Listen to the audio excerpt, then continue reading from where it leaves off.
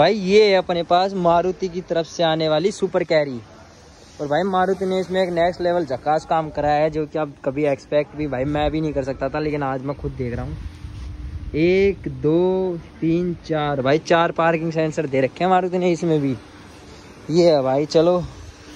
अच्छा भाई, मारुति, गरीब लोगों की भी सोच लिया आपने।